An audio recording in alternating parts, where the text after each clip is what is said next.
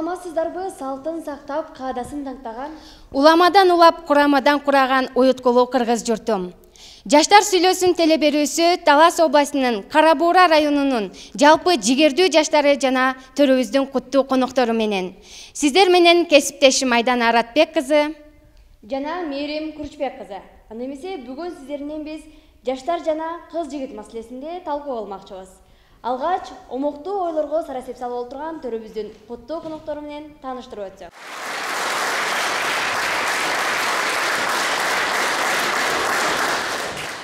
дил бирөөгү коомдук кайрымдуулук фондунун талас облусундагы өкүлү мырзаев абылкасым.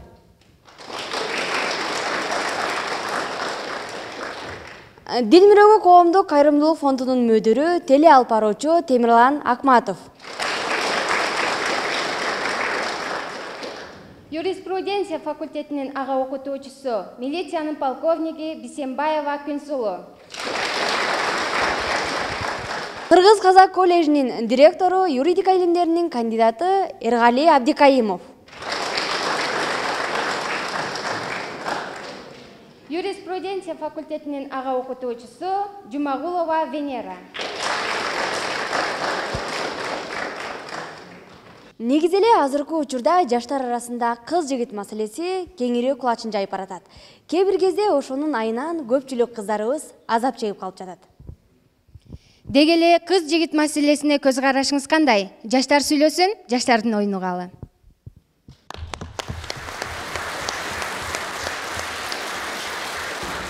негизинен кыз жигит болуп сүйлөшкөндү мен туура туура деп эле ойлойм бирок ар нерсенин өзүнүн чеги болот эми өзүнүн убагын өзүнүн убагы келет деп өзүнүн убагы келет болуш керек ал нерсени да.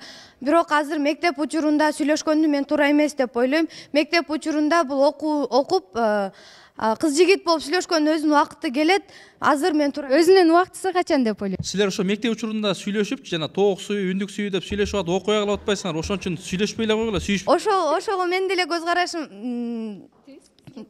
сизге кош сиздин сөзүңүзгө кошулам мектеп учурунда сүйлөшкөн мен деле туура эмес деп ойлойм анткени ал сенин ойлоруңду окууга эмес ошол жигитке көбүрөөк көбүрөөк көңүл буруп көбүрөөк убактыңды ошол жака бөлүп каласың да. Мен айтат элем да кыз сүйсө калат дейт жигит сүйсө точно алат дейт да ошон үчүн кыздар неме жигиттер сүйсөчү?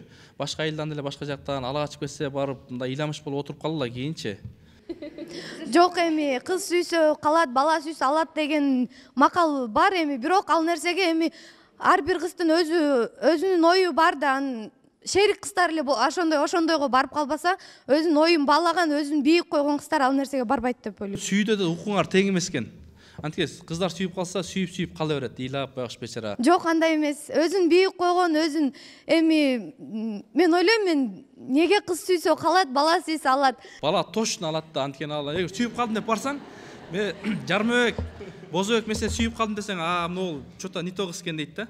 Жок эми өзү ошондой балдар деле ошондой кыздарды карайт да анда ошондой шерик кыздарды карайт. Ал эми кыздар өзү сүйлөшө турган убакыт келет. Ал эми жыйырмадан жыйырма эки жаштан өткөндө сүйлөшүп үй бүлө курганга план койсо болот. Кеч болуп калбайбы анда? Биринчи биринчи базарыңар өтүп кетпейби?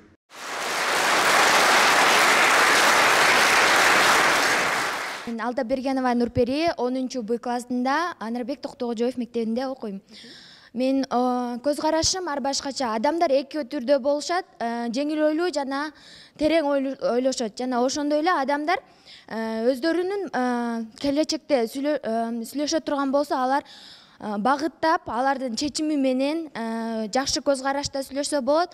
Ал эми азырынча биз окуучу кыздар балдарга эрте деп ойлойм. Анткени биз билимибизди тереңдетип ой максаттарга жетип ошондо гана терең жана кыз жигит болуп силер эрте деп коюп эле өзүңөр сүйлөшүп атасыңар го. Могу мен айтат элем мына жерде отурган айрым жигиттерде мисалы могу жигиттерчи булар неме кашкырлар кашкырлар билесиңби жейт. Жана капустаны коен жейт го. Койду кашкыр жегендей эле могу кашкырларга ишенбегиле колуңарды карматпагыла чачыңардын кылын да карматпагыла силер барган сайын кыздар арзан болуп баратасыңар.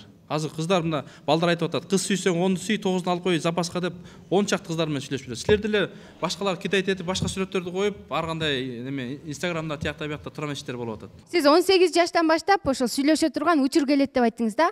Э, кыз жигит болуп сүйлөшө турган убак он сегиз жаш деп айттыңыз эмнеге мындай да э, канчалык окуучулук күндө деле балдар сүйүү болот да. Э, классындагы кыздарын сүйөт башка класс кыздар сүйөт эми ошол убакта балдар жүрсө жүрсүн но бирок анчалык тереңге кирбеш керек тереңге болгондо а- акыркысы аборт кылып атпайсыңарбы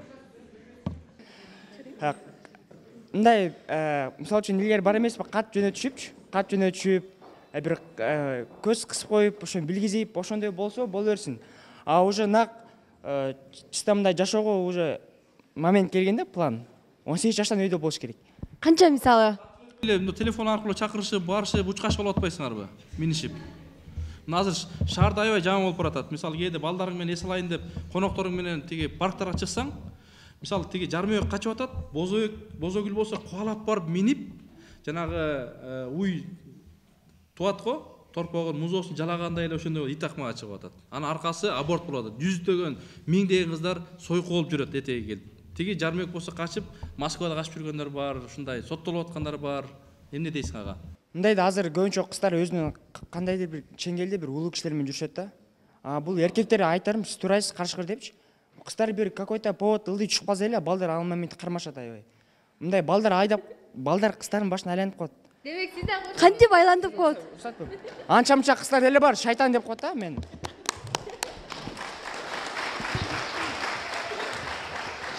Бұл а, мына кыздар дагы өзү шайтан болот аябайчы. Анан балдар дагы ойлош керек.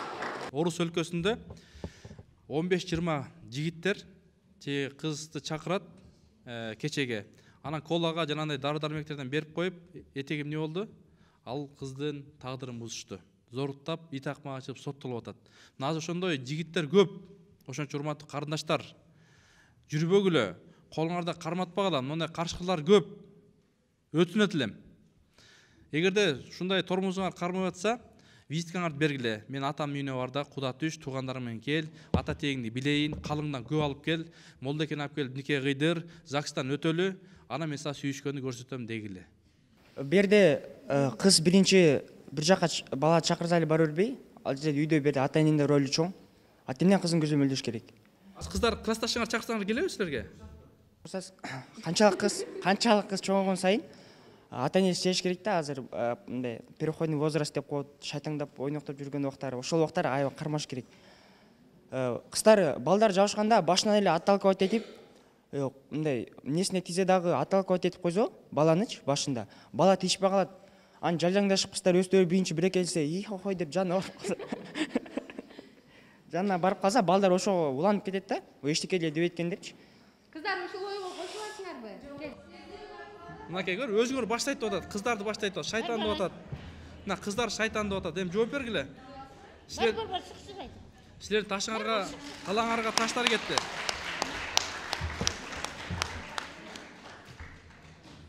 менин аты жөнүм сүйүнүч кызы үмүт сүйүү бул таза сезим эмеспи ар бирибиз бул дүйнөдө сүйүү үчүн жаралганбыз деп ойлойм мен. Бирок бул сүйүүнү булгаган адамдар да бар. Азыркы учурда сүйүүнүн деңгээли жаштыктын деңгээли өтө эле төмөн түшүп кетүүдө. Азыр сүйүү десе эле элдин баары ойлошот беттенүүбү кучактоо барып искөө деп. Бирок сүйүү андай эмес. Сүйүү бул таза сезим болгондуктан бул э, жаш келгенде э, пайда боло турган сезим деп ойлойм. сүйүү качан келерин эч ким билбейт. Анткени э, ошол кыз жигит болуп мамиле кура турган убакты кайсы урак деп? Качан адам сүйгөндө кыз жигит боло алат деп демек он беш жашка чыкканда сүйүү келсе деле ошол уракта деле мамиле кура берсе болот турбайбы э мамиле курса болот бирок өзүнүн чеги менен болуш керек. Чеги кандай? Могул бир метрден өтпө. Границадан өтпө. Беттен өппөш керек. Колдон кармап. Мисалы чыңгыз айтматовдун чыгармасын алайык жамиля менен данияр. Ал экөөнүн сүйүүсү кандай болду эле таза тунук э ооба сиздин сүйгөн жигитиңиз барбы сүйлөшкөн жигитиңиз барбы менин сүйгөн жигитим жок мен азыр эч кимди сүйбөйм а сүйүп сүйүп келип калса жигит э, сиз кайсыл айылдансыз кайсыл айылдансыз шекер. Шекерде мисалы ушу бакыяндан келип калса мен сүйүп калдым алтыным чолпонум коркогумду ала качып кетсе э, ал точно сүйөт да бою бир сексен курттой турмушка чыкканга даярсызбы кандай адам ала качып кеткенин мен айбандык деп эсептейм азыр мынакей могул жерде эжелер олтурат да ала качып бактылуу талайлуу болуп ондон он бештен бала төрөп очор бачар болгон. Эжелер оюңарчыларды айтсаңар туурабы туура эмеспи мисалы башка адамдын сүйгөнү болот да аны күчтөп зордоп ала качып кетсе ал кылмыштуулукка жатат. Анткени сүйүп атат да сени аябай сүйүп атат. Алат элем ушу балалуу болсом сен аны сүйбөйсүң да. Ошо нике кыйганда сүйүшүп кетесиң? Молдокей келет нике кыйып берет ошо менен пинкодко түшөсүңөр нормально кете бересиңер. Анда жашоо кызык эмес да. Зато сен сүйүп анан мына азыр эжелер мына тажрыйбалуу эжелер отурат кандай болду эле айтып берсеңиздер мына эжекелер ошентип эле турмушка чыктыңыздар беле мен ы, качкынбаев эрсултан көк сай айылынан келдим анарбек токтогожоев мектебинен сиздер жаңы бул жерде кыздарды жамандадыңыздар эми бул жерде биздин энебиз да кыз болгон убагында чоң энебиз да кыз болгон биздин карындаштарыбыз бар эжелерибиз бар. Биз азыр бул жерде өзүбүздүн кыздарды жамандагыбыз туура эмес болуп калат сүйүү бул азыр азыркы убакта жаш кезде бул биздин сүйүүбүз ата энелерибизге арналышы керек. Себеп дегенде бизди ушул убакка чейин жеткизген бул биздин ата энебиз ал эми а кыз жигит маселесичи? Кыз жигит маселесине токтолуңузчу. Кыз жигит сүйлөшкөн жигитиң барбы? Бозо гүлүң барбы? Башкача кылып салсыз Иә, канчанчы класссың кызыңыз барбы? Канчанчы класста окуйсуң? Мен сегизинчи класста окуйм. Азыркы учурда сүйлөшкөн кызым жок. Качан сүйлөшөсүң? Сүйлөшкөнгө азырынча эрте азыр азыр менин атың сүйүүм ким? атың ким? Эрсултан эрсултан атаң менен энең келип мисалы могул менин досумдун кызы ушул кыз деле алчы могул бозогүл деген мыкты кыз супер келинчек десе ошону алганга даярсыңбы? Эми аны убакыт көрсөтөт. Ал кыздын ы, ал кыздын мындай мүнөзүн биринчи мүнөзүн билип алыш керек. Сен көптү билесиңби же ата энең көптү билеби сага караганда кимди көп көп- ким көптү билет азыр? Азыркы азыркы учурда ы, менин ата энем мен үчүн биринчи орунда турат. Бирок сен ата энең сени ушул балам могул эле кыз таап келип берчи мына ыймандуу экен ушул мүнөзү жакшы ата энесин жакшы билебиз десе ушуну эле алчы десе. Макул болбойт беле? Ооба макул болмокмун. Себеби ата энебиз бизге жаман нерсени каалабайт чоң рахмат азаматсыз. Мен ата энемдин айтканына тий дегенине ал дегенине тийбейм дегендер пикирлер барбы? Кол көтөрсөңөр мен өзүм мынакей жыйырма биринчи кылым өзүм эле сүйлөшүп жармөөктү өзүм тандайм кымызбекти өзүм тандайм дегендер бар мына бирөө кол көтөрүп атат о үчөө төртөө көп экен ойбу көп экен Э, айткыла эмнеси менен кандай критерий менен тандайсыңар? келечекте саламатсыздарбы мен манас орто мектебинин сегизинчи класстын окуучусу рыскул кызы аяна мен жана байке кыздар шайтан болот дегенге кошулам анткени азыр мен досторумду же башка класстын кыздарын карап отуруп карап отуруп ойлонсоң чын эле кыздар балдарга өздөрү тийишет дагы сиз дагы шайтан болуп каласызбы жок бирок адамдар бөлүнөт шайтан же ушундай жаман жолго ошол нерседен ошол нерсеге кошулуп калышы мүмкүн мен азыр өзүмдүн досторумду же өзүмдүн өзүмдөн чоң эжелеримди карап отуруп жана байкенин айтканына кошулам кыздар биринчи баштайт андан кийин аларга жабыша баштайт. Ошондуктан ошонун арасынан от чыгышы мүмкүн оюндан от чыгат деп айтып коет кыргыздарда. Ошондуктан да кыргызда да бир сөз бар кунаажың көзүн кыспаса бука жүүн үзөбү дейт бизди дагы эжелер ушинтип э, тарбиялайт да биздин эжекелерчи силер азыр жашсыңар окуй турган маалыңар окуп алгыла жаш кезиңерде окуп алгыла кийин сүйүүгө дагы жетесиңер силер билимдүү болсоңор силерди балдар каалайт азыркы жыйырма биринчи кылымда балдар жакшы окугандарды же жакшы жолдо жүргөндөрдү карашат деген э, э, тилектешмин негизи сиз кыз жигит болууга кандай көз карашыңыз кыз жигит болуунун кереги барбы же кереги жокпу кыз жигит болуунун дагы кереги бар мисалы үчүн мисалы үчүн бул мектепте болгон сүйүү мектепте болгон сүйүү кийин ошол мектепте болгон сүйүү кийин үй бүлөгө да айланышы мүмкүн мүмкүн ал эми азыркы учурда биздики э, жөн гана убактылуу деп койсок дагы болот убактылуу гана бул мектепте гана болгон сүйүү кийинчерээк өзүңдүн махабатыңды дагы кезиктиришиң мүмкүнсүң мына көрдүңөрбү өзүңөр айтып атат мына балдар да айтты балдар айтты кыздар шайтан деди бул кыз да айтып азыр эми мындай таза мындай тыккан колун карматпаган кыздар барбы айт бияка момункул бакайыр айылы момункул чаланбаев орто мектеби тогузунчу б класстын окуучусу аты жөнүм анаркулов кайрат М,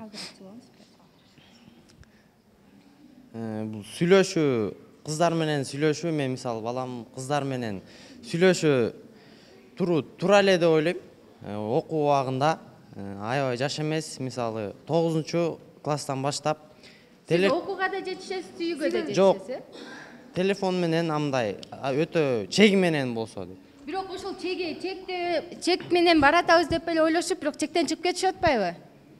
Кайда амал беш кол тең эмес деп коет го. А сиздин сүйгөн кызыңыз барбы? Меники жок азырынча тилекке каршы.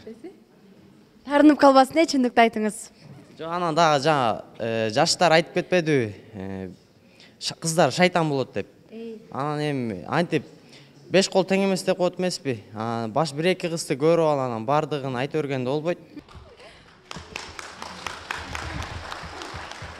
Жаңы сиздер айттыңыздар э, кыздар шайтан деп. Ошондо сиздер өзүңүздөрдүн бир тууганыңыздарды апа апаңыздарды чоң энеңиздерди да шайтанга тең этесиздерби ушул жерде бул туура эмес деп ойлойм бул жерде кыздар балдар өздөрү айтып атат мисалы да. Бул жерде э, сүйлөшкөндө кыздын да баланын да күнөөсү бар. Себеби э, бир колдон үн чыкпайт эки кол чапканда үн чыгат ошо ошонун айынан чабып атып мына азыр бизде сойку кыздар толуп кетти кыргызстанда Э, мынакей э, аборт кылган кыздар көбөйүп кетти былтыр статистика боюнча кыргызстан боюнча жыйырма жети миң аборт болду он төрт жашка чейин алты жүз он эки кыз аборт кылды мектеп окуучулар ичинде бул каяктан келип атат? Өздөрү эле жасап атабы? Анын баары бул э, замандын өзгөргөнүнөн жана дагы бул ыймандан алыстап баратат эл ошон үчүн болуп атат деп ойлойм. Демек мунун баарына ыйман жок. Ооба чоң рахмат. Олжогиз алмагүл э, молдосын айылы шамратбеков орто мектеби тогузунчу б класс. Менин оюмча бул кыз жигит болуп сүйлөшүү э, жөн эле убакыттын акчанын бош кетириши деп ойлойм эгерде кыз жигит бири бирин чындап эле сүйсө анда э, ошол турмуштук жолун башташы керек э, бири бири менен үйлөнүшү керек деп ойлойм. Кыз жигит болуп сүйлөшкөндө жөн эле э, ошол баланын да кою бузат кыздын да кою бузулуп ошондой ар кандай жаман иштер болуп кетүүдө. Менин оюмча кыз жигит болуу бул жөн эле бош убакыттын акчанын кетириши деп ойлойм.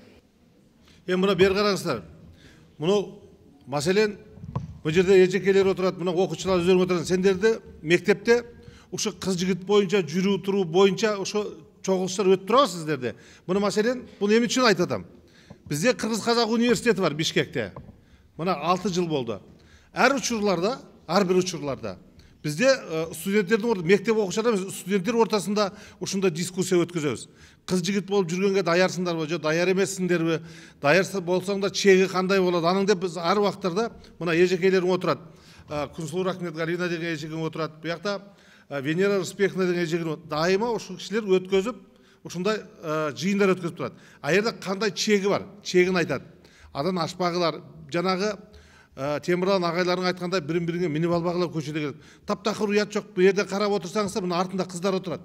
Тағы эле айтып жатсаң ойлар башкада ал жөнүндө ойланган да жок эмне сөз болуп атат эмне коюп атат мына ошо кызлар ошо кыздар таза жанагы темірлан ағайдың айтқанын жасай тұрған қыздар да угуп да койгон жок ойларын ортага салган жок айта турган эле баягы эле эки үч кыз эле айтып атат.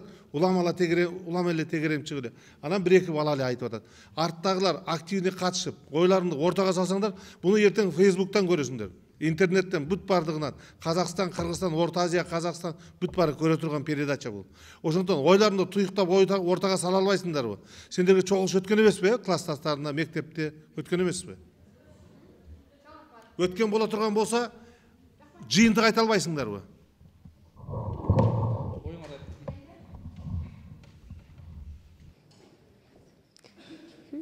албайсыңдар ба саламатсызбы саламатсыздарбы мен менин атым рустам фамилиям рустамбек кызы луиза мен токтоо бабанов атындагы лицей интернатынан келдим Э, мен бул эң кыжырга тие турган сөздөрдүн бири бул аял затын шайтанга теңегендик да бул шайтан деген кандай жаман нерсе биз ошол аял улук аял затын бул шайтанга теңейбиз да биз баардыгыбыз эле улу- улук энеден жаралганбыз да ал эми биз ошол энени эне дагы жаш кезинде кыз болгон ошол эне теңегенде бүт аял заты шайтан деген жері жоқ. Шайтан деген қыздар деп айтып атат сіз тура түшүндүңүз да шайтан деген қыздар деп атат шайтан деген қыздар деп атат бүт шайтан деген жоқпыз. Біз өзіңіз айтқанда барыбыз енеден туылғанбыз. Бұл жерде эжекелерің отырады ұлы мұғалімдеріңіз отырады. Бардық емес. Шайтан деген қыздар жөнінде кеп болып отыр. Ооба беш кол тең эмес бирок аял заттын ичинде дагы андай шойко ойлуу кыздар көп да ал ал эми ошол шайтан деген ат менен баардык кыздардын атын каралаганга туура эмес да каралаганыбызчы кана ким айтты ошону айтып келиңизчи чы айтып койчу жооп берчи жооп берчи баардык эле кыздар ыймандуу эмес баардык эле кыздар тынч отурушпайт сөзсүз бир ойноктоп туркуштап тургандар бар туурабы мен ошолорду гана айттым. Мен баардыгын баягы бала да айтты э, ата энелер да шайтанга теңеп койдуңарбы деп. Мен жаңы түшүндүрдүм туурабы сага андай эмес мойнуңа алдың. Туура түшүнүңүздөр бул жерде антип теңеп койгон жокмун мен шайтан дегенде мындай э, немеде эмес мындай ойноктогон жалжаңдаган ата энесин укпаган ушундай кыздарды айтып атам да. Ооба туура эмес жолду баскан ушундай кыздарды айтып атам. Тормозу кармай калат го ручной да кармай калгандарды айтып мен дагы андай кыздар баардык кыздар мен да андай деген жокмун. Алар арасында бар кыздардын дагычы бирок бул шайтан деген ат менен баардык кыздардын аты э, жаман болуп атат да. Бир кумалак э, бир кармар чирите- чиритет дегендей. Ошондой чымындап көгөндөп саякаттап жүргөн кыздарга эмне дейсиң? Жанагы атты булгап азырынакей жалпы ошол кыргыздын атын булгап атат да. Кыргыздын намысы тиеп атат. Кыргыздын келечеги кыздарда дейт. Биздин негизги тема бул э, кыз менен э, жигиттин ортосунда болгон э, мамиле эмес беле ошол э, эгерде жигит э, чындыгында эле бул карындашынын жана энесинин э, энесинин эжесинин тагдырын ойлосо анда кыз жигиттин ортосунда болгон жаман мамиле- мамилеге барбайт жана ошондой эле кыздар дагы ошондой эгерде агасынын же кандайдыр бир өзүнүн агасынын тагдырын же инисинин тагдырын жана ошондой эле өзүнүн ар намысын аруулугун ойлогон кыздар эч качан андай жолго барбайт чоң рахмат атым сыймык кызы роза токтогул бабанов атындагы лицей интернатынын онунчу класстын окуучусумун мен негизи м, бул кыздарды шайтан деп атоодо мен бул жаңы айтып кеткен жи- кыз жигит маселесине кайталычы шайтанды туруп турсун эми кыз жигитке келеличи Э, бул ме- негизи биздин тарбия забычыбыз хунзе эжекебиз дайыма айтып келет да ар нерсенин өз убакыты болот депчи. Мен ошол эжекенин сөзүн дайыма колдойм. Э, кыз жигит болууга да э, ар нерсенин өз убакыты бар да. Ошол убагы качан?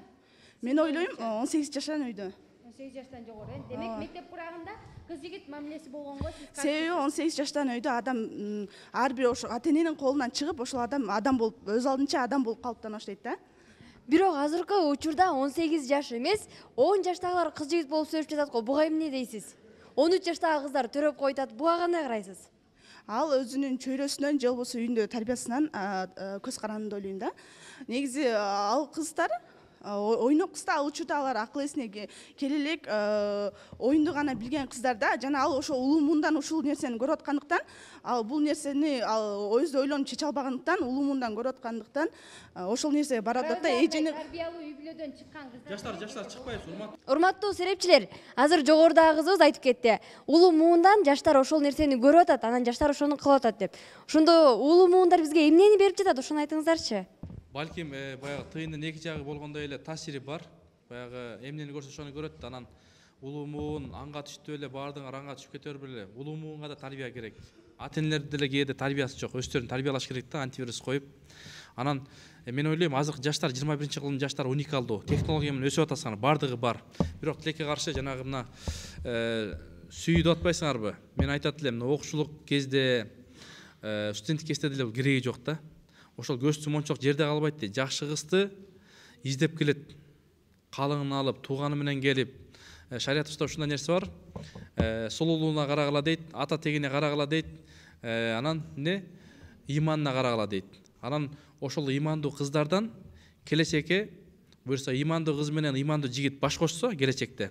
Силер терметкен бешик эртең дүйнөнү терметет бирок агай кээ бир учурларда тарбиялуу үй бүлөнүн кыздары балдары деле ушундай жолго барып жатпайбы? Алар кимден үлгү алып атат? Чөйрөнүн таасири болот ар бир ата эне жакшы тарбия бергенге берет аракет кылат. Кээде чөйрө деген бар. Чөйрө мисалы өзгөчө мына шаарда борбордо тилекке каршы өтө ушундай бузулган нерселер көп. Тилекке каршы шаарда жигиттерди боз өбөктү айранбекти кыздар чакырат. Э, жанагындай жолугушууларга. Анан ушул нерсе айылдарга деле келип атат. Анткени интернет деген ушул азыр буга эч ким чек кое албайт. Туура эмес токсон тогуз пайыз туура эмес нерсени алып атат дагы анан кыздарыбыз балдарыбыз. Илгерки жанагы э, соска менен соротсо балдарын азыр сотка менен соротуп калбадыбы ушундай заманда демек кудайым силерге жүрөктөрүңөргө ыйман берсин. Кыз жигит болуп сүйлөшүү бул шариятыбызда жок а, туура эмес деп билемин. А, сүйүү бул жаратылышка ата энеге болгон сүйүү болушу мүмкүн ал эми кыз жигитке болгон сүйүү болбойт го деп ойлоймун. Эгер шариятыбызда бар ушул карындашым. Шариятыбызда э, шариятыбызда үч эле күн тааныш кылат дейт. Лапша илбей кидайт этпей үч күн келип мына менин ата тегим ушундай мен мындай оору менен ооруйм деп ачык айтыш керек да бизде азыр бүттүгүн алдап алдап келип туруп лапшалар илип келип туруп анан үйлөнгөндөн кийин келип туруп эмне баардыгы брак болуп чыгып атат тилекке каршы. Ошон үчүн шариятыбызда ачык айтат. Ата тегиң ким каяктан баарын изилдеп туруп анан кийин үйлөнүшкөн. А бизде болсо азыр үч жыл беш жылдап үйлөнүшөт. Бишкекте бак төргөсү бар. Ошол жерде күнүгө официалдуу беш адам эки адам баш кошсо беш адам официалдуу ажырашып атат. Үй бүлөсү бар башкасы бар көпчүлүгү интернеттен келип whatsappтан могу келип калды тикиндей мындай. Э, сиз жогоруда айтып калдыңыз кыз жигит деген сүйүү бул жок деп. Эгерде кыз жигит деген сүйүү жок болсо үй бүлө кайдан куралып жатат? Бул үй бүлө бул ата энеси кызды жактырып ошол кызга сөйкө салат деп ойлойм демек да. Жогоруда агай айткандай тиги ата энеңиз бир баланы сунуштаса мына бул бала жакшы деп сунуштаса сиз ошол ата энеңиздин сунушуна макул болуп кете бересиз э ата энем эгер ошол баланы мага татыктуу деп меме кылса макул болмокмун. Азамат ушундай кыздар көп болсо келечек оңолот бирок бирок азыркы учурда андай кыздар аз. Баардыгы азыр деген жыйырма биринчи кылым баардыгы өзү тандап өзү сүйүп турмушка чыгам дейт. Биз баардыгын эле ата энебизден көрүп жатпайлыкпы? Мисалы ата эне үйдөн айтат сүйлөшпө дейт. Сүйлөшпө деп айтат. Бирок эки кадам чыккандан кийин кыздын эси чыгат. Үйдөн эки кадам эшиктен эки кадам аттагандан кийин кыздын эси чыгат. Ата энесинин сөзүн турмак агасынын сөзүн турмак баардык нерсени унутат мындай сөздү биринчи жолу угуп атам илгери эркектердин эси чыкчу эле азыр кыздардыкы чыгып калыптыр жаман жаман. Ушул ойго кошуласыңарбы кыздар? Мынакей азыр айтып атат. Эс- эсиңер чыгып атат. Буну мен баарын эле айтып аткан жокмун. Кээ бир кыздарды айтып атам да. Қазір заман басқа болатыр да? Сен- қалай қарайсың осындай жағдайға? Қазір жігіттер іздемейді қыздарды. Қыздар өздері звондап жігіттерді іздейді. Сол дұрыс па дұрыс емес па? Дұрыс емес деп ойлойм ал аргументируй неге дұрыс емес? Неге іздейтін қазір біздің қыздар наоборот өздері сол жігіттерді іздейтін болды? Анткени неден басталды сол айтпайшы қалай ойлайсың? Менин оюмча кыздар жигиттерди издегени э, туура эмес анткени алар э, эмне үчүн жигиттерди издеши керек? Эгерде жакшы көргөн адам болсо ал жи- кыз жигитти издебей жигит кызды издеши бирок керек деп азыр ойлойм ошондой болуп атат дейт да эжекебиз баары болбосо дагы кээ бир кыздарыбыз өзү чалат өзү жазат өзү жолугушууга чакырат булар эмне себептен болуп жатат ар бир кыздын аң сезимине жараша деп ойлойм а мүмкүн бул эркектердин чечкинсиздиги кайратсыздыгы эркектерден чечилбейт да кызга алар айтпайт да мага биринчи жаз дебейт да туурабы кыздар өз эрки менен жазат ал нерсени чоң рахмат. Мен бұл кызыбыздын айтканына аябай кошулам да бул аябай жаңалык болду буну даже көп жерге жазып илип койсо да болот да. Кыздардын үйдөн чыккандан кийин эси чыгат дедиби эки кадам вот эшиктен эки кадам аттаган кыздын эси чыгат дейт бул аябай айтат ушуган азыр бул жерде турган канча балдардан кыздар көп бирөөсү айттыбы жок андай эмес деп айтпайт да эмнеге бул чындыкка чын деп атат да туура чын биз ушундай болуп калдык деп атат кыздарчы биз ушундай болуп калдык дейт бирөө айтпай атат да жок андай эмес мындай деп айта албайт бул кыздын айтканына аябай мен кошулам жакшы кыз экен азыркы учурда кыз жигит болуп сүйлөшүү бул кандай э, мааниге ээ деп атат? Э, негизи кыз жигит болуп сүйлөшкөнгө кошулам бирок бунун убагы менен деп атат. Албетте бул убагы менен э, азыр окуп иштеп чет мамлекеттерди көрүш керек. Андан кийин турмуш куруп жашаса болот да эгерде азыр эрте кыз жигит болуп сүйлөшө турган болсоң эрте турмушка чыгасың андан кийин үй- үйдө эле бала карап отуруп каласың да. Эгерде сен кечирээк э, сүйүү мамилесин баштай турган болсоң э, чет өлкөлөрдү көрөсүң көп жерлерди көрөсүң анан дагы мындай акылың дагы көбүрөөк болот демек да. билим алууга бизге көбүрөөк мүмкүндүк болот экен э кыз баланын ошондой ушунчалык көп билим алып чет өлкөнү көрүүсүнүн кереги барбы? Албетте кереги бар. Азыркы заманда бул э, баардыгыбызга керектүү нерсе билим деген. Эгерде адам билим албай турган болсо бул жашоодо караңгы адам болуп калат Э, билимсиз адам бул кандайдыр бир түнт адам десек болот чоң рахмат. Негизи сөздүн башталышы да жана аягы да болот ошондуктан сөздү аяктайлы да жыйынтоочу сөздөргө кезек берели бизге жашоо бул дүйнөдө бир эле жолу берилет. Ошондуктан э, кыз бала үчүн бул жашоодо эки нерсени туура тандаш керек. Биринчи бул өмүрлүк жарыңды экинчи бул өзүңдүн өмүр бою ошол кесип менен эмгектенгендиктен ошол кесибиңди туура тандашың керек. Ошол себептен жигитти да туура тандоодо биринчиден ата энеңдин батасын алгандан кийин гана ошол бала ылайыктуу деп өзүң көрсөң ошого турмушка чыгууга болот. А эми кыз жигит болуп сүйлөшүү бул э, менин оюмча туура эмес. Себеби бул э, биз азыр жашоо биргелегендиктен анда окуп билим алып чет өлкөлөрдү көрүп бул дүйнөгө өзүбүздүн жашоого койгон максаттарыбызды орундашып орундап алгандан кийин турмушка чыксак да кеч эмес деп ойлойм демек убакытты туура пайдаланыш керек экен э карасаңыз болот саламатсыздарбы кыз жигит болуп жүргөн бул туура деп эле ойлойм эгерде ал кыз жигиттин жүрөгүндө аллахтан коркуу деген сезими болсо анда анын чегинен чыкпайт мухаммед пайгамбарыбыз бул асманга көтөрүлүп келгенден кийин буркурап сакалына чейин жаш агызып ыйлайт эй мухаммед сага эмне болду десе мен тозоктон баардык көпчүлүк бөлүгү бул аялдар экен дейт эмне үчүн дегенде аялдар булар шайтанга тeenөөгө болбойт эгерде неге дегенде шайтан деген бул капыр деп коет өмүрү аллахка сажда кылбаган кыздар бирок алар шайтан эмес деп ойлойм саламат саламатсыздарбы? Менин аты жөнүм мирланова медина сулмаймак айылынан келдим бул жанагы кыз жигит болуп мамиле түзгөнгө мен макулмун анткени бул бул балалык сүйүү анан кийин мектептик мектепте окуп жүргөндө сүйүү деген болот. Анан кийин окууну бүткөндөн кийин өзүнчө бир сүйүү болот. Ал балалык мектепти мектепте окуп жүргөндөгү сүйүү ал өзгөчө болот. Бирок ал мындай ошол чегинен чыкпаш керек да ошол мектепте окуп жүргөндө сабакка көңүл бурбай ошол сүйүүгө көңүл буруп кеткен андай болбойт да бул анан кийин жанагы ата энеси ошол кызга өзү ошол жигитти таңдап берсе андай ошо сени мажбурлап ошо күйөөгө берсе андай ошого каршымын да. Анткени кыз өзү макул болуп өзүнүн келечекте сүйүүсүн өзү таңдаш керек да. Чоң рахмат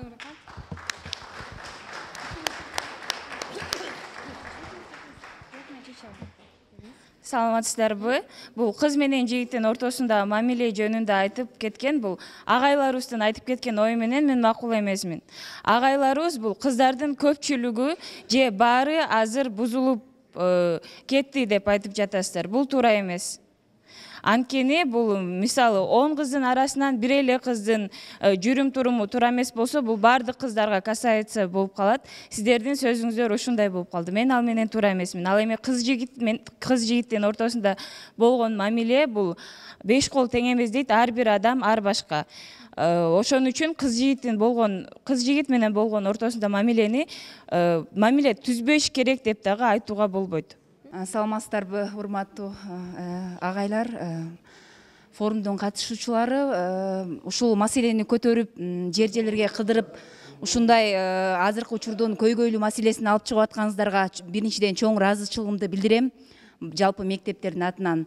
Анан бул жерде кыздар боюнча сөз болуп атат ушунун негизинде бул эң чоң туура маселе деп эсептеп атабыз. Себеби дегенде буга чейин кыздарыбызга биз ушул менен эле чектелбестен мектепте атайын кыздар боюнча кыздар совети өткөрүлүп турат да.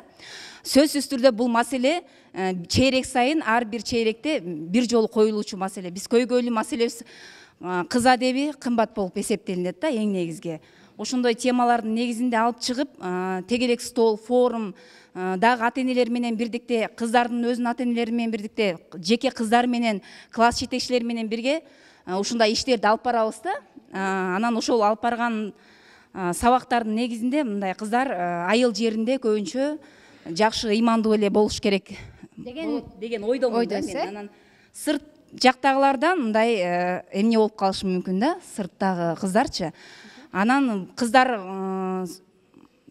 жанагы маселеңер кыз жигит маселесине келгенде азыр жыйырма биринчи кылым кыздар ата эне менен мейли сүйлөшүш керек эркибизди биз чектей албайбыз баарыбыз сүйүп калабыз сүйлөшөбүз э ошондо дагы биз ата энебиз менен энебиз менен эң жакын илгери биз кыргызда жеңелери менен жакын болгон экен да жеңелерин айттырып мен баланчаны сүйүп калдым. Ал балам мени жакшы көрүп атат же мен аны жакшы көрүп атам деп ушинтип баарлашып турчу да жеңелери аркылуу.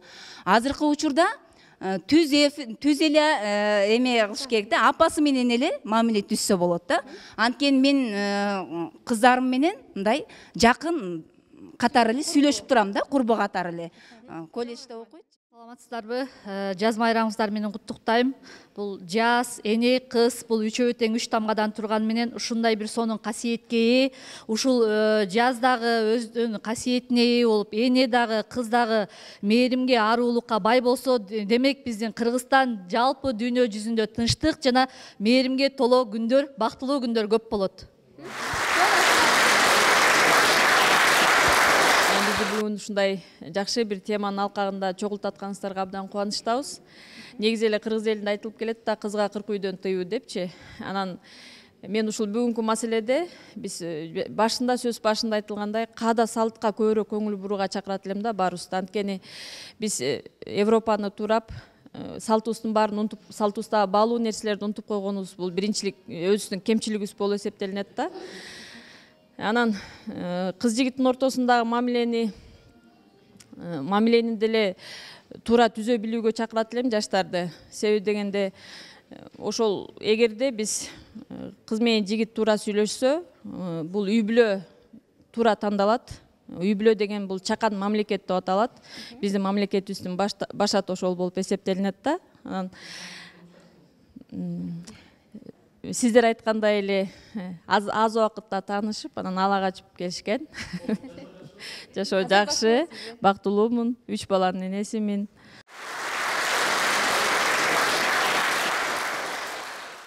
мыйзам чегинде айтайын дегем ала качуу деген бул кылмыш. Ошон үчүн мен ала качууну колдобойм. Ошон үчүн ар бир адамдын өзүнүн укугу бар кыздардын да өзүнүн укугу бар. Ошон үчүн балдар бул мен ойлойм да ала качып кеткен балдар булар нормально мамиле түзө албаган балдар деп ойлойм да. Ошон үчүн мамиле түзүп жакшынакай сүйлөшүп эле алыш керек. Кыз жигит боюнча сөз жүргүздүк бул жерден. Көп кыздардын бул жерде жалынды кыздар жалынды жигиттердин сөзүн уктук ошол кыздар менен ушул жигиттерге мен аябай кошулам айткан сөздөрүнө айрым бир жанагы эле туура эмес жүрөтүн кыздар туура эмес жүрөтүн балдардын да жөнүндө эле кеп сөздөр жүрдү бул жерде. Бирок ошол кыздар ушул балдар бул жерден көрүнүп турат отургандарынан жүргөн сөйлөгөн сөздөрүнөн канча жолу айтып атсаңдар деле укпайт да. Бир укпайт. Бул жерде эмне сөз болуп атат? Эмне айласы жогунан келген кыздар айласы жогунан келген балдар бул жерде бар экен. Алардын баардыгы турмушта да айласы жогунан күйөөгө тиет айласы жогунан аял алат. Ушинтип жашайт. Ушул кыздар ушул балдарда байкалып турат да. Ошондуктан мен баардыгын чакырат элем.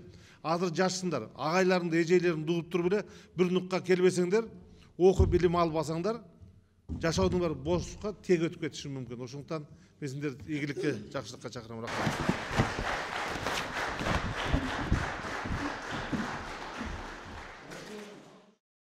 В школьные годы должны быть просто школьные дружбы. И я считаю, что никакой любви, никаких поцелуев не должно быть. Должны друг друга уважать, ценить и друг другу приглядываться. И я, к сожалению, сожалею о том, что сейчас не осталось нормальных джентльменов. Они не умеют ухаживать за девочками сейчас. Ребята, давайте учитесь. Удачи вам. қырғыздың тарихына қарасақ қазақтың тарихына қарасақ ә, мен сол азыр венередегі ана екі ақиқатшы тұрсынбек ақынға қошын албаймын менин апам деле атам ала качып келген мына жерде эжелер болуп турат булар да ала качып бактылуу талайлуу болгон азыр үч жыл беш жыл сүйлөшөт укук тең укуктуулук деп бирок натыйжасында ажырашуу көп. А кыргыздын немесине карасак көрбөй билбей эле атасы айтып эле бел куда деген болгон жол куда деген болгон ошентип эле бактылуу талайлуу болуп келгенбиз анан жанагы ала качып кеткен жигиттер азыркы кээ бир жанагындай э, шуулдаган жигиттерге окшобойт да алар баштар мындай иш жүзүндө көрсөтөт да мен алам дейт үй бүлө кылып алам дейт а беркилер он он беш кызды булгап жүрөт анан келип анан аягына келип туруп эмне кылат жакшы кыз издеп атат шариятыбызда ушундай жакшы сөз бар. Жакшы эркекке жакшы кызды кудай таала насип кылат жаман кызга жаман эркекти боз өбөктү насип кылат ошон үчүн ким кандай болсо ошондой кызга же болбосо жигитке турмушка чыгат үйлөнөт деген сөз. Пайгамбарыбыз кайсысы бар эркекти аялда эки нерсени сактаса бейиш кирет дейт эгин ортосу тили жакшы сөз сүйлөсө ал ата энеси менен келет да бир туугандар менен куда түшүп келет эми эмне дегенде бере салбайт менин үч кызым бар анан экинчиси болсо ошол эки бутунун ортосун зынадан сактаса туура эмес жолго барбаса сөзсүз бейишке кирет деген пайгамбарыбыздын осуяты бар ошондуктан урматтуу жаштар алам деп сүйөм деп келсе визиткаңарды бергиле ата энеңердин үй бүлөңөрдүн визиткаңарды берсең ошол жерде куда кудалашсын ошол жерде үч күн сүйлөшөт шариятыбызда ушундай анан алдабай лапшаны илбей кудай буюрса жакшы э, нике кыйгандан кийин сүйүү башталат негизи. Жанагыга чейин азыр кыздар айтып өттү тоок сүйүү тигиндей бала сүйүү. Андай жөн убактыңарды кетиресиңер мектептин кадыр баркын түшүрөсүңөр райондун кыргызстандын ошон үчүн убакытты кетирбей силер азыр билим алыш керек. Окуу окуу жана окуш керек. Андан кийин буюрса өз э, жолуңарды табасыңар деген ойдобуз анан бизде азыр сүйүү деген беш тамга дары болот. Жаштарга деп дарысын издеп аңга түшүп аткан жаштарыбыз көп аборт болуп боюнда болуп канчасы ата энеси э, сүтүмдү кечтим деп чыгарып койгон кыздар бар. Ошон үчүн ошондон кудайым өзү сактасын ак никелүү таза кыргыздын келечегине керек боло турган таза таза уул кыздар төрөсөңөр кыргызстаныбыз келечеги кең болот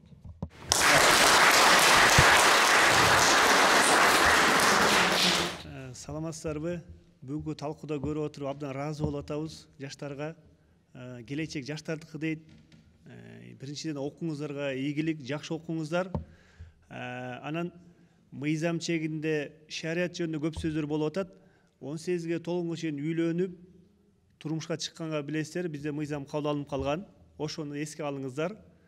Э, ал эми жанагы алып качып кеткенде бизде кыргызда жана салт боюнча сөз болуп кетти го апаларыбыз чоң апаларыбыз босоого жатып алат го ошол келгенде сиздер жай эле өтүп кетиңиздер себеп дегенде жабырлануучу сиздер болуп атасыздар кыздарды алып качып келип отуруп атпайбы анан жабырлануучу сиздер болгондон кийин өзүңүздөрдүн жанагы э, милдетиңиздерди шарият жолунан билиңиздер да жабырлануучу сиздер болуп атасыздар сиздерди баягы уурдап келип алып качып келип атат туура биринчи сүйлөшүңүздөр таанышыңыздар анан кийин жанагы жаш боюнча келгенде бир аз көңүл буруп коюңуздар Э, он сегизге толгончо ошол жагынан этият болуңуздар рахмат.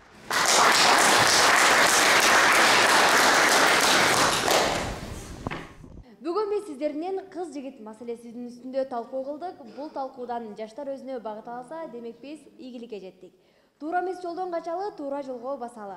Багыт бизден жыйынтык сиздерден кийинки эфирде жолукканча сак саламатта калыңыздар